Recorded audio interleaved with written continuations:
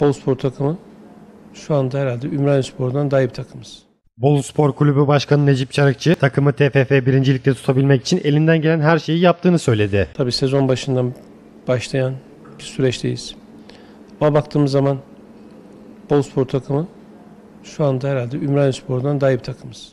Çarıkçı yaptığı açıklamada Bolu Spor'un ligde bulunan birçok takımdan daha iyi olduğunu ancak puan olarak bakıldığı zaman iyi durumda olmadıklarını belirtti. Ama puan olarak baktığımız zaman da iyi değiliz. İşte bu sebepleri var. Eski şimdi dönmenin bir faydası yok. Bunlar sezon bitince bunları paylaşacağız. Çarıkçı, teknik direktör Fırat Gül'le iyi bir çıkış yakaladıklarını anlattı. İyi bir çıkış yakaladık hocamızla. Allah'a emanet Fırat hocamızla beraber Boluspor başarı elde etti. En sonunda e, Hatay Spor'u yendik. Ve bu hafta da Karagümrük'e gittik. Bir puan almamız gerekiyordu. Bir maç öyle bana geldi ki penaltı kaçırdık. 1-1 oldu. Maç 4-1, 5-1 olacakken maalesef bir puandan da olduk. Asıl amacımız bir puandı.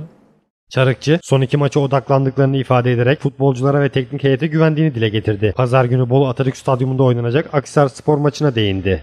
İki maç var. En başta iyi bir takımımız var. Hamdolsun sakatımız da yok. Artık iki maçta e, bu işi kendimiz halledeceğiz. Çocukluğumuz halledecek. Ben futbolculara güveniyorum. Teknik heyete güveniyorum. İnşallah. 3 puan da avantajımız da var. Belki bir puan olsa daha olacaktı aslında ama. Çünkü rakibin bize bir maç şey üstünlüğü var. Avar üstünlüğü var. Artık e, iki maça odaklanacağız iyi çalışacağız. Takımımızı iyi motive edeceğiz. E, Ve kimseye bırakmadan bu işi kendimiz halledeceğiz. Onun için de bu hafta Aksaspor Bolu'ya geliyor.